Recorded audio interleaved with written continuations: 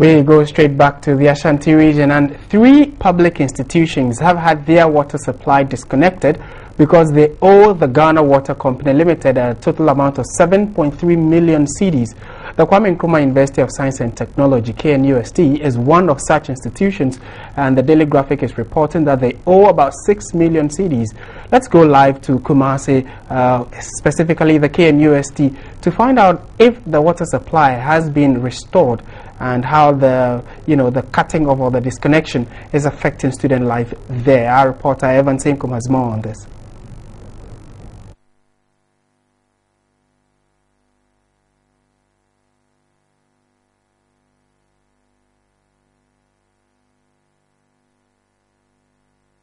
That Ghana Water Company Limited has, oh, it's getting tough on some of the very institutions that are owing um, the company matter. They've disconnected services to them. But we just want to know the reality on the ground as far as this particular um, hall is concerned. We'll be speaking to the students and then they will be telling us uh, the kind of um, problem that they are going through as far as uh, availability of water is concerned here. Let me, before we even get close to some of the tab because they are, they are actually not flowing. Let me speak to uh, a gentleman here. Uh, good afternoon. Good afternoon. All right. So we just want you to run as um, just tell us the kind of um, problems of that you are going through with uh, non-availability of uh, water.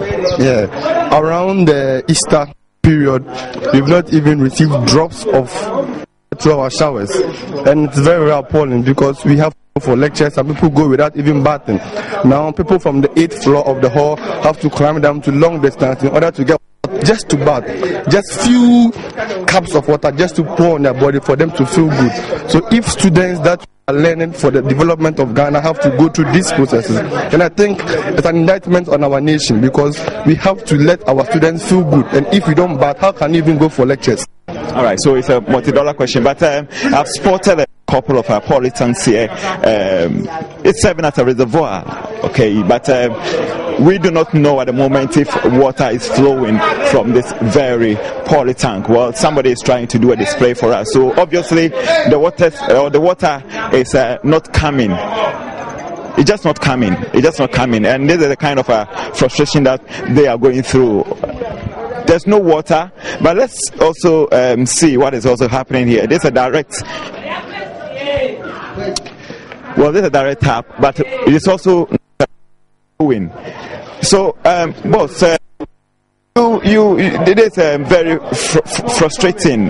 Is that the reason why you did not attend today? Um, I did actually go to lectures, but uh, people are going to lectures, so then staying in their rooms sick of the pipes not coming. Yeah. Right. And it's it's it's even um, serious when it comes to the water that they will use to flush the toilet. Let me find out from. Um, so how are you coping with the situation as far as uh, sanitation here is concerned? Talking about your toilet facility, you don't have. Are you flashing? Um, actually, it is very. You know, uh, the taps not flowing for about four days. Very academic suicide well, you bath, keep on keep the heat. This is a situation where the taps are not flowing, and if they're flowing, how do you expect me to get to class? Sometimes I have to go and buy a bag of pure that sachet to come and, and bath, which is really very very. It is bad. Alternative. Let me find out from the man. Good afternoon. Good afternoon. All right. So your taps are going. What has been the alternative? We don't we apologize for the break in transmission for that particular story, uh, but at least the import of the story is quite clear that the shortage or the disconnection of water on campus at the KNUST is already taking a toll on the students. Uh, we stay in the Ashanti region and on the same issue. We are joined on the line by um, the rector of the Kumasi Polytechnic and the person of Nsowah-Nuamah, Professor Nsowah-Nuamah. Good afternoon, sir, and thank you very much for your time. Good afternoon. Uh, we are told that the K Poly or Kumasi Poly for that matter owes um, uh, an amount of 400,000 Ghana cedis to the Ghana Water Company. Is that the case? And how come you've been able to accumulate such a debt? Thank you very much. Uh, let me greet all your cherished uh, listeners. Uh, that, that is true. And it is because I think for some time now, payment, payments have not been made uh, by the institution which is supposed to be making the payment on our behalf. And I think that is the reason why we, we, we owe. Uh, the institution entity is supposed to make payments on our behalf. And I think for some time now, uh, we have not been making it. NCC, uh, NCC, National Council for Tertiary Education. They are the institution which pays the utility bill for all tertiary institutions in Ghana.